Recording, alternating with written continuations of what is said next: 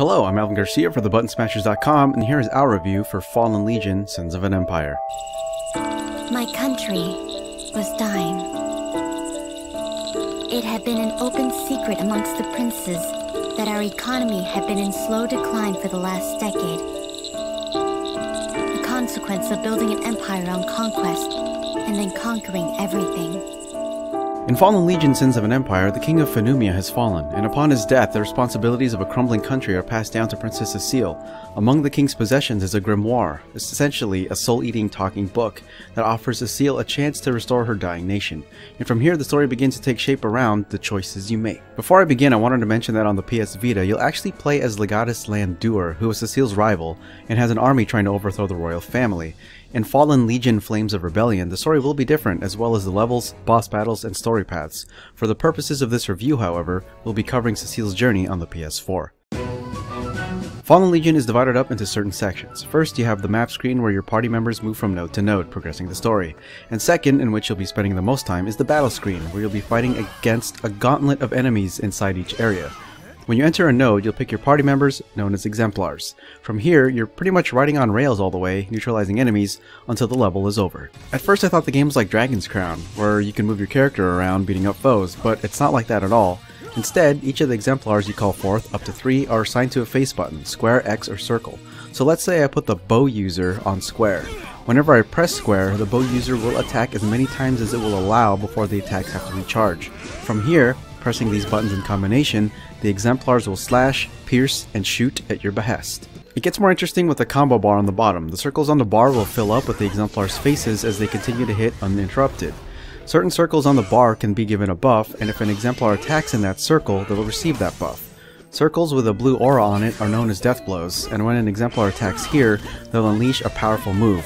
Honestly though, I tend to end up mashing the buttons most of the time when I'm on the offensive. Now defensively in my experience, perfect blocking is key to gaining an advantage on enemies. While you can block normally, just by holding down L1, you'll still take some damage. With perfect blocking, meaning you press block right before any enemy is about to attack, you can stagger an opponent giving them a debuff, say defenseless, that can lower their defense as you capitalize on a counterattack. Plus, usually, you can also gain one action point used for normal attacks. The sound of a perfect block and the feedback the game gives is really satisfying when you can pull it off. It makes you want to do it again and again until you get the hang of it. But as cool as the flow of combat can get, it can feel like a slog as repetition can rear its ugly head from time to time. But new enemies do appear to lessen that feeling. I will say the highlight are most of the boss battles. They're fiercely intimidating, and they do pose a challenge, even if one of them did feel a little cheap, personally speaking, which I'll get to later. Now you might be wondering what Cecile's role is in all this. She's a mage of sorts in battle. Her initial set of moves are Heal, Cassandra's Coil, which is like an energy beam, and a Resurrect spell for when the Exemplars lose all their health. These spells are charged for use as the Exemplars deal damage. Spells can be switched out using certain gems that provide buffs and sometimes negative effects to balance things out. The gems in general that are not slotted to Cecile's spell choices can have different abilities depending on how powerful the gem is. As you're heading to each successive battle, Fallen Legion gives you choices based on what's going on in the country of Fenumia. For example, with the first choice you're given, the game states that one of your father's inner circle has offered to help you for a price. Above you see three cards. Each choice will give you something in return. In this case, I chose Refuse, so I got a 2x combo added to the combo bar. These choices, of which there are many, are scattered around battle zones and our time, so you must choose what you think is the best, because apparently, they change the world around you. Royalty, which are hard to keep track of by name sometimes, vie for power, and you must act accordingly, which makes it feel a bit like Game of Thrones. I'm still not exactly sure how much of the world changes, I'll have to play again to see if I can mold it, but there are moments after you're given a choice where a representative of the people or person effective acknowledges your decision and rewards you thusly.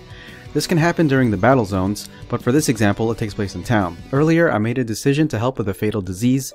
When strolling through town, I found a woman grateful for the assistance and gave me tributes for my exemplars. There are even side missions that pop up based on your choices, though I had no clue they were side missions. Let's talk about these exemplars, shall we? They definitely remind me a lot of the pawns from Dragon's Dogma. Each has their own defined class, but are made a bit more personal since they have names attached to them. Zulfikar is a tank, wearing shiny intimidating armor with a huge shield and sharp sword. Longinus is a spear user and she can do a ton of damage with her flurry of attacks. And Apollon is the bow user that can debilitate foes from a distance. These are the first three exemplars by your side, but throughout your journey, you can also acquire others. For example, there's Winchester, who snipes with a, you guessed it, a Winchester rifle, as well as Mjolnir, a dwarf who carries a gigantic hammer and uses a whirlwind attack. It's cool switching up the party just to see what kind of damage each combination can do. Eventually, your exemplars can evolve into stronger versions granting more abilities when doing actions. For instance, Order Zulfikar can heal allies after a successful block, which is really handy. Having upgraded exemplars helps a ton, but I wasn't exactly sure what activated their inherent power. Let's also talk about that Minerva boss battle. That one had a crazy difficulty spike for me regarding the dagger wielding lady ninja. It took me at least 10 tries to defeat her, and even then I think I got lucky. I had to be so spot on with my blocks to get her to fall down so I could do any sort of significant damage to her. If I missed, she did extraordinary amounts of damage that can kill exemplars in just a few hits. She was very tough to block even after getting her patterns down. It was a really frustrating fight. I will note that if you die at any time during a stage, you'll have to start from the beginning even if you get close to finishing. However, if you die at a boss encounter, you can continue from the boss encounter, which will save you from tearing some of your hair out. Graphically speaking, Fallen Legion reminds me a bit of Vanillaware's games, namely Dragon's Crown, but just not as intricate.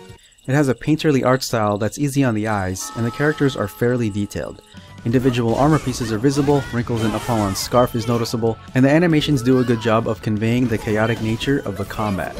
The backdrops where you'll be hacking enemies range from forests to snowy meadows, castle ramparts, windy deserts, and more, I find that the designs are serviceable, but lack a bit of pop to make them stand out. They're bland in comparison to the character fidelity, but there is a wide variety of environments. It had a smell, very distinctive, like cloves and human sweat. The first half of the game for me just kept dragging, even with the enjoyable combat and boss encounters. The story didn't seem to go anywhere, and the choices I made didn't really feel like they were making an impact. After fighting that dagger ninja lady, however, Fallen Legion Sins of an Empire began to turn the gears somewhat. My exemplars became more powerful with an array of useful skills, the moving political pieces started giving me tougher decisions as morale went up or down, and the personal drama between Cecile and the Grimoire heightened, though not by much. I wish it had done this from the beginning with all the intrigue, but I suppose there had to be some build-up. Overall, Fallen Legion Sins of an Empire is a surprisingly enjoyable game with excellent combat that at times feels like a strategic fighting game. There's a back and forth to it that flows nicely with counterattacks and shield blocks. It just feels good, and is the highlight of the game, even if at times it does feel like a slog. While the story takes a backseat to all the bludgeoning, I was okay with that, because I just wanted to beat some monsters up. Thank you for watching this review of Fallen Legion Sins of an Empire. If you like this review, make sure to leave us a like and a comment to let us know what you think about the game.